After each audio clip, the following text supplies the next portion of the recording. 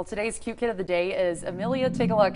She's a strong, sweet mm-hmm. girl who spent her first 40 days of life in the NICU, so she's definitely a fighter. Yeah, no doubt about that. She loves watching Daniel Tiger and also playing with her dogs.